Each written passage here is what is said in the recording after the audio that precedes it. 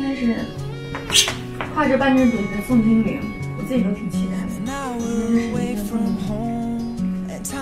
完成的事情。为啥不能完成呢？我谁不想我可以演宋精灵？我那你是有很强大的角色塑造能力的。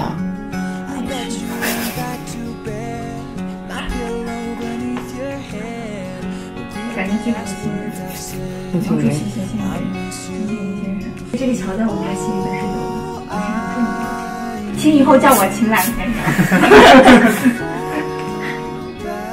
秦先生，我只让你叫我爸去。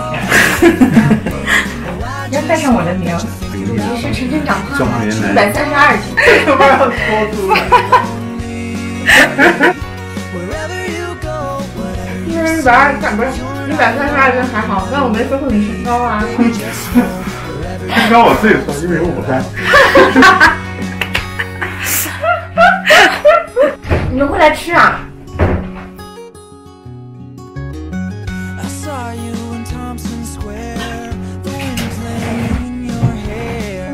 的人生立为人吃货呀，不像我。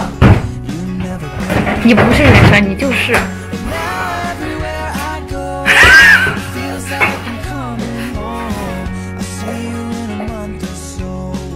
我就是旁边。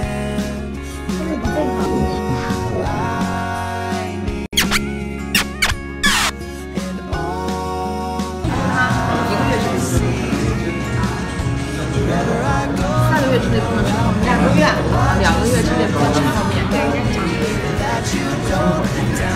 一年是吧？心里有数。哎，你看没看之前有一个粉丝发了一个微博，上因为你上一条 vlog 一直在说我吃东西，然后说我胖瘦，然后有一个粉丝发了一个微博说，说的对。不，如果有一天你要被我打了的话，绝对不稀奇。为什么？你有看到那个吗？你就是说你想打我呗？没有，是粉丝发的。他给自己找空隙，他想打我。你看，就是这个。那是刺肉。嗯，就是想打我。我哪敢呀？嗯。家人说实话，说实话就是挨揍呗。放心，我不敢的，姐。反正你不是让他实力打脸，受不了。那对。我我我这这话不敢说呀。上海不是现在实行垃圾分类的吗？他们说猪能吃的是湿垃圾，猪不能吃的是干垃圾，猪吃了死掉的是有害垃圾。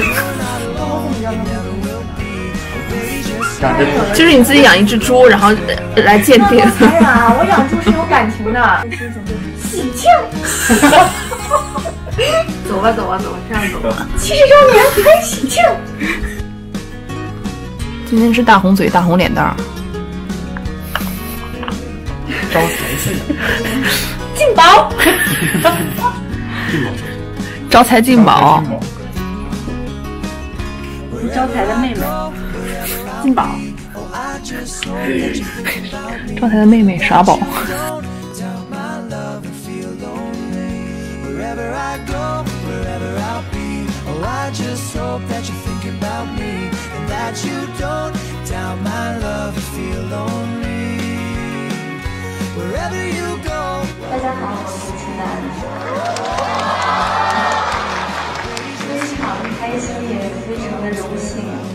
次能有这样的殊荣，可以扮演我们的宋庆龄先生。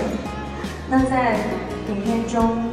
他也非常至关重要的角色时刻的出现，希望给大家带来不一样的我的宋庆龄。